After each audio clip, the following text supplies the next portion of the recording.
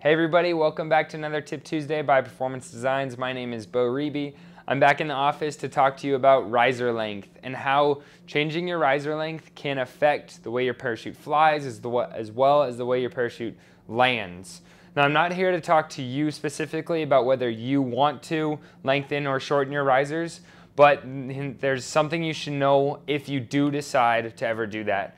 Um, so this first, uh, I've got three stick figures up here. It's all the same person, but they all have different riser lengths, all right? So this first uh, jumper, their riser length is 21 inches. That's kind of an industry standard for riser length. Um, and then this blue dotted line down here below, I'm just gonna call it the bottom end of their flare. So that's kind of where they, where this jumper, they prefer that, that bottom end finishing power on their flare is right here.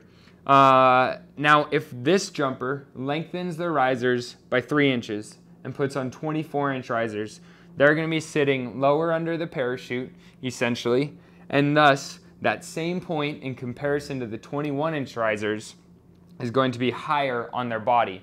So if it was here before, it's going to be three inches higher.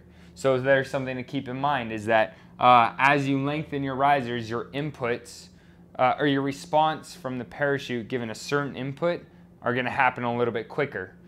Also, that means that your stall point is going to be three inches higher as well. So there's a safety tidbit there too. Uh, moving to the next scenario, same jumper has now shortened the risers by three inches to have 18 inch risers. So now, if we follow this blue line across, that that um, that bottom end of the flare, the finishing of the flare, which was originally at this person's waist is now going to be down three more inches. So um, there's something to think about. If you shorten your risers and you notice that you're not getting as strong a flare as you once were, that's because you're sitting higher up under the canopy and thus you're maybe not flaring the extra three inches that you need to. Um, so one solution to that that people choose to do is to shorten their brake lines, right? If you're higher up on the parachute, and you want to raise your uh, the bottom end of that flare in comparison to the first image by three inches, you can shorten your brake line by three inches. However, something to keep in mind is if you decide to shorten your brake lines, uh, you can in fact shorten them too far to where you're deflecting the tail of the parachute even when you're in full flight.